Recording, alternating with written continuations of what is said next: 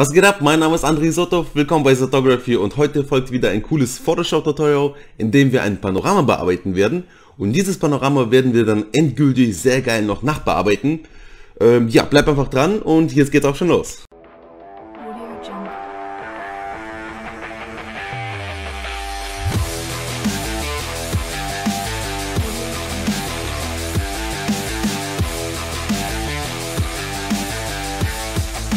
Als erstes gehe ich immer so vor, dass ich meine Bilder bei äh, Lightroom aufmache. Und hier habe ich auch schon meine äh, Panoramabilder. Man sieht, die Bilder sind 4000 mal 6000 äh, Pixel groß und das ist echt heftig, weil wenn du dann betrachtest, hier sind jetzt 69 Bilder von einer Panorama und 69 Bilder und alle sind 4000 mal 6000 Pixel groß, also 24 Megapixel. Da kannst du dir zusammenrechnen, dass das endgültige Bild schon so um die 100, 120 Megapixel haben wird und das ist schon echt äh, viel zu groß. Man braucht das auf jeden Fall nicht, vor allem nicht, wenn man das sowieso nur im Internet postet. Was ich da mache ist, ähm, ich werde die Bilder gleich bei Lightroom etwas verkleinern und äh, das mache ich, indem ich jetzt alle erstmal markiere mit äh, STGA zum Beispiel. Dann drücke ich hier mit der rechten Maustaste auf irgendein Bild und gehe auf Exportieren. Beim Exportieren kann man hier gerne gleiche Ordner wie Originalfoto auswählen oder man kann auch einen speziellen Ordner auswählen. Ich tue den gleichen Ordner wie Originalfoto und äh, lege es in einen Unterordner Original ab. Okay, und jetzt scroll ich ein bisschen runter. Ich werde die Qualität hier auf 60 stellen, weil, und das brauchen wir echt gar nicht hier, diese Qualität. Und äh, bei, bei nur, also nur die Qualität zu verstellen, wird auch äh, nicht viel äh, bringen. Ich habe hier noch die Größe von 6000 Pixel auf 1500 Pixel geändert und die Auflösung von 300 auf 72 dpi. Jetzt drücke ich einfach auf Exportieren und äh, dann werden meine ganzen Fotos verkleinert und somit habe ich jetzt meine Bilder ungefähr 600 Kilobyte, also zwischen 600 und 800 Kilobyte groß. Davor waren die so um die 4, 5 Megabyte und das ist schon echt äh, viel zu groß, wenn man betrachtet, was der Photoshop dann äh, alles bearbeiten muss. Und äh, warum 69 Bilder? Das ist so, ich habe, ich fotografiere meine Panoramas immer so, dass ich nicht einfach nur durchgehe durch das Bild, sondern, oh, ich zeige es mal mit der Kamera. Ich mache es ganz einfach. Ich halte die Ka Kamera auch nicht, äh, nicht Querformat, sondern in Hochformat. Somit bekomme ich in der Länge ein bisschen mehr äh, ja, Puffer. Und dann gehe ich so durch, dass ich zum Beispiel jetzt unten anfange. Dann werde ich erstmal unten die Fotos machen. Dann gehe ich hoch, werde in der Mitte Fotos machen. Und dann gehe ich nochmal höher mit der Kamera und werde oben Fotos machen. Somit bekomme ich einfach ähm, ja, mehr drauf, als, man, als wenn man einfach nur so einmal drüber geht. Ja? Gut, gut. Ähm, sobald wir die Bilder jetzt exportiert haben von Lightroom, gehen wir in Photoshop rein, gehen hier oben auf Datei, automatisieren und dann auf Photo Merge. Bei Photo Merge können wir hier dann auf Durchsuchen gehen. So, ich habe hier meine originalen Bilder und hier habe ich das in diesen Ordner Original abgelegt. Somit kann ich jetzt mit STGA zum Beispiel alle Bilder auswählen und drücke auf OK. So werden uns jetzt alle Bilder hier reingeladen die ganzen 69 Bilder. Ich wähle hier nichts aus, weil ansonsten braucht eigentlich Photoshop noch länger und ähm, ich habe jetzt einfach nur Bilder zusammen überblenden. Das reicht auf jeden Fall aus und äh, drücke dann auf OK. Jetzt werden uns alle Bilder hier bei Photoshop zusammengebastelt. Ähm, Photoshop macht das eigentlich immer gut, aber falls du sagst, hey, das ist nicht so gut geworden, wie ich das haben wollte, dann ähm, kannst du einfach das Ganze neu starten. Denn bei jedem Mal, bei jedem Mal, den du äh, Photomerge startest, wird das Bild auch oder dein Panorama in Ergebnis anders aussehen, weil Photoshop das immer anders neu berechnet. Okay? So, ich habe hier schon mal äh, mein Panorama erstellt und abgespeichert, damit wir nicht so lange warten müssen. So sieht auf jeden Fall jetzt mein fertiges Bild aus, also das äh, fertige Panorama, sage ich mal, aus. Ähm, als erstes, was ich immer mache, ist, ich werde jetzt alle Bilder auf eine Ebene ziehen, weil man sieht, es sind alle Bilder hier zusammengefasst. Das brauchen wir gar nicht. Und zwar werden wir mit Shift, STG, Alt und E, so in langen Tastenkürzeln, werden wir alles hier ähm, nach vorne bringen. Somit haben wir jetzt alles auf einer Ebene. Das brauchen wir eigentlich theoretisch gar nicht, aber ich werde das einfach mh, auswählen und werde das mit STG und G in eine Gruppe zusammenfassen. Was ich als erstes mache, was ich als erstes mache, ist, ich wähle mein Linealwerkzeug aus. Das befindet sich hier ähm, neben der Pipette. Wenn man ein, einmal länger drauf drückt, geht man hier auf Linealwerkzeug. Okay, und jetzt ziehe ich mir ähm, Ja, so ein geraden Lineal über den Horizont. Ungefähr so müsste es eigentlich aussehen. Und jetzt drücke ich auf Ebene gerade ausrichten. So.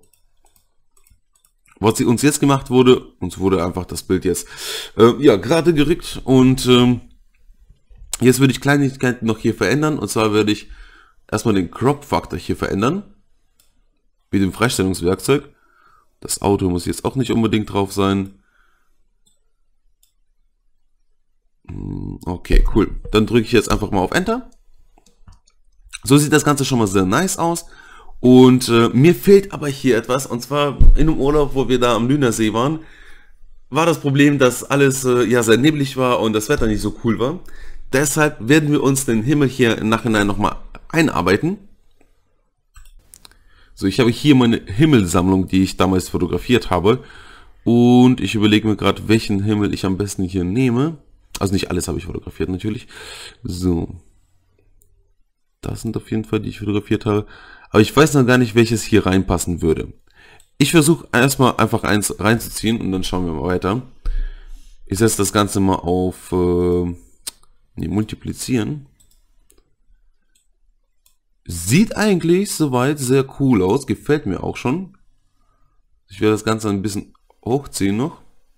Ich denke, so sieht das Ganze sehr nice aus. Und wegen dem Modus Multiplizieren würde sich das Ganze einfach viel besser auf äh, diese hellen Stellen ähm, bewirken. Also man sieht, wenn ich jetzt zum Beispiel auf Normal stelle, sieht man ja alles hier im Bild. Und sobald ich auf Multiplizieren stelle, dann wird der Himmel nur da sichtbar, wo jetzt wirklich hell ist. Zum Beispiel in der Straße jetzt ein bisschen, klar hier auch, aber am meisten in dem Himmel. Und deshalb werden wir den Himmel später noch ein bisschen heller machen, damit man das Ganze noch besser sieht.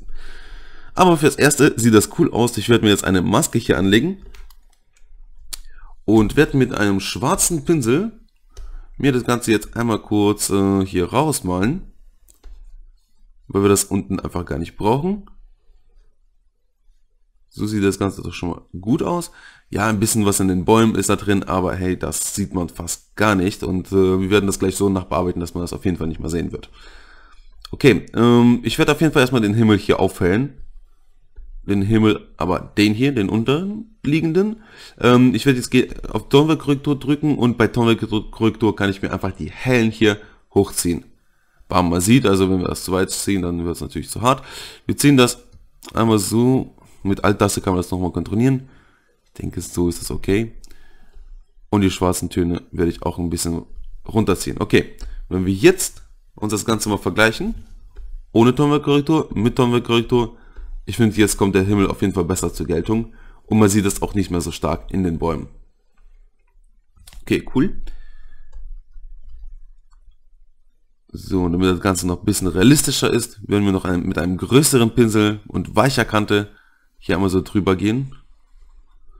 Und vielleicht werden wir den Fluss noch ein bisschen verkleinern. So dass man in den Horizont ein bisschen was heller hat, ja. So. Okay, das sieht auf jeden Fall schon mal sehr nice aus. Die Deckkraft kann ich hier ein kleines bisschen noch verringern. Und so finde ich das gar nicht mal so schlecht auf jeden Fall. So, mit weißer Farbe werde ich mir das doch ein bisschen zurückholen hier noch. Aber ich finde das auf jeden Fall schon mal sehr nice. Gibt dem ganzen Bild ein bisschen mehr Tiefe auf jeden Fall. Jetzt gehe ich auf Farbbalance und werde mir hier in die Tiefen ein bisschen mehr Rot dazu geben. Ein bisschen mehr Grün. Und in die Lichter werde ich mir ein bisschen mehr Gelb dazu geben. Und auch wieder ein bisschen mehr Grün. Ein bisschen mehr Rot vielleicht, damit das ein bisschen nach Sonne aussieht. Dann will ich mit äh, Gradationskurven das ganze Bild ein kleines bisschen aufhellen.